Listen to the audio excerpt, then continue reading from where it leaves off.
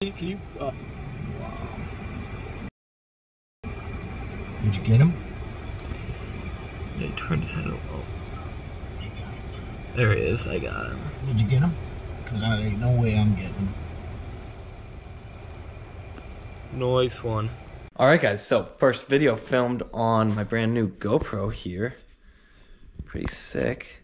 And uh, I hope you guys like that little deer right there. My uncle spotted on the side of the road. Don't know how he even saw that. Today is the second day of gun season. Did not go hunting this morning. Went out, got breakfast since I already have a buck and a doe this year. We don't need. I don't need that meat right now. I don't need to get another doe. Oh, so we're actually doing a lot of cleaning deer today. So follow on, guys, and it should be a fun day. Maybe learn something here.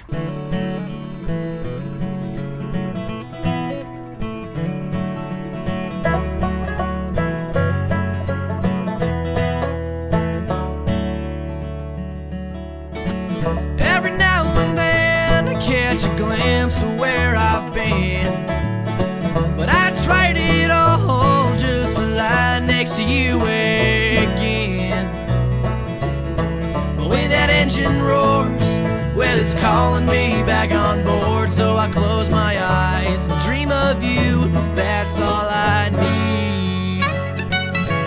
Trains may come rolling and take me where they may. But if it's your hand I'm holding, I'll make it through the day. Won't you say the same to me? Oh, worry not my This one here, guys, is my buck. It's only my second ever, so I'm gonna get it mounted. So you have to be a little more careful when you're gonna mount it.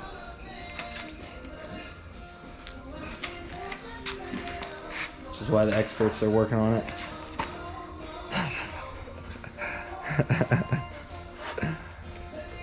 is that a homemade knife, Bob? It's uh Henry, Henry Rooster. German cool. stainless. All right, guys. So here's our stations. We got uh, where the deer are hanging, then they're skinning them there, quarter them out, turkey leg. Then over here we got where they come quartered, cutting them into pieces, going into the bin, then making them into ground beef, or just vacuum sealing tender ones here. So while we're doing all the meat cutting, butchering inside, I'm working on this European mount that my uh, cousin shot a little, shot a nice buck last year, but it wasn't super big, so he didn't want to get it full mounted. He didn't know what to do. So I wanted to do a European, but we never finished it. It's just been sitting at my house for a year.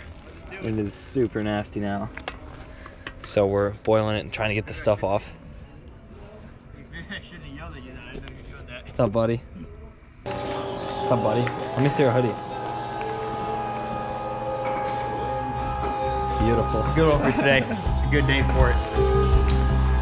Lay your pretty head down on my shoulder.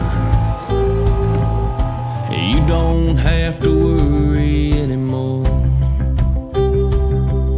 This old world is cold and getting colder.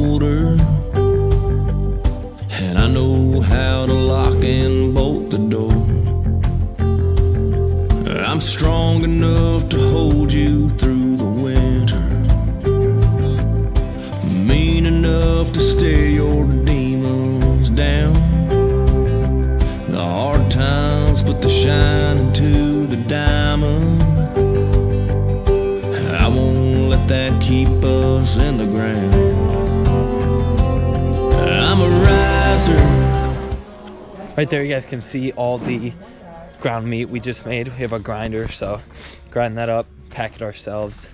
It's gonna be awesome. Uh, we also there was some tenderloin there, and all kinds of meat there. So hunting is great to get your own meat, do it yourself, and a lot of people don't get that perspective. They just buy everything at the store. So the best meat is uh, that wild meat. Hey, I'm in my video. I don't know what I'm gonna do. Are you scared? All right, guys. So as we were cleaning deer, I got a package today, which I was pretty excited about. First Lite, my first time ever ordering stuff off them. pretty expensive. They were having a sale though, the gravy boat sale for Christmas time, and I got these like 30% off. I hate being cold, so I got some base layers, which I'm definitely gonna use for hunting. But now that I'm like basically done for this year for deer hunting, I don't even know if maybe I'll use them for waterfowl hunting, but I got the base layers and I got the furnace long john and the furnace Henley in the dry earth color. It's like a brownish green. I think I can also use it for like skiing and stuff, so we'll have a look at it here. Very expensive. Like even with the discount was like over $200 for two things. I'm hoping they're soft because I hate being itchy. Ooh, they seem pretty nice. These guys right here are the leggings. They actually do seem pretty soft. They're really thick. Look how thick these are. Right? Now here we have the Henley.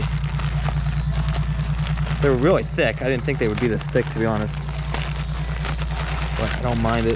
If I, I like, can't, I can't walk around and you know like No, pushing these. no, I get so cannot. sweaty. Here's the Henley. There's definitely I like I like the fabric. I it's- Yeah, it's nice. It looks good. There it is, guys. This is my stuff in First Lite. I'll let you know how I like it when I wear it. Just to wear around.